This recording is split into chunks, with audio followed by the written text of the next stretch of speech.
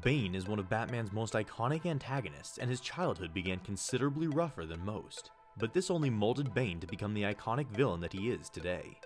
An iconic and influential part of Bane's early years that may have set him down his path of crime and violence was the first time that Bane ended another person's life. Bane was born behind the walls of Peña Duro to carry out the punishment of his father Edmund Dorrance, who was a revolutionary that was captured by the Caribbean Republic of Santa Prisca.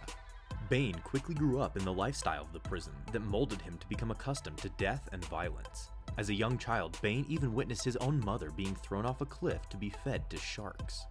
Down the line, one of the inmates in the prison took a suspicious liking to young Bane and attempted to recruit the child to work for him to help him gain information about the prison's structural weaknesses because Bane could fit and squeeze in areas where the other adult prisoners could not. Seeing this, another prisoner named Trog, that was yoked beyond belief, jumped in to intervene to prevent Bane from being abused. Trog punched the other inmate and in the process knocked Bane off the balcony of a prison cell, causing him to fall a story down.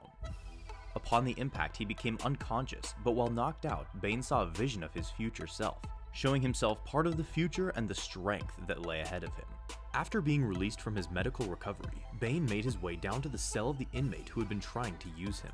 With a knife in hand, Bane attacked and ended the life of the inmate, thus committing his first murder at the young age of 8.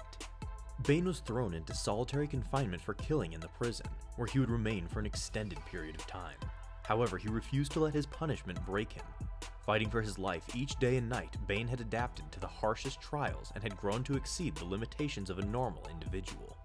This and other experiences within the walls of the prison that once contained Bane merely served as a crucible to provide the growth he needed to escape and to eventually fulfill his true destiny to be the one to break the Batman.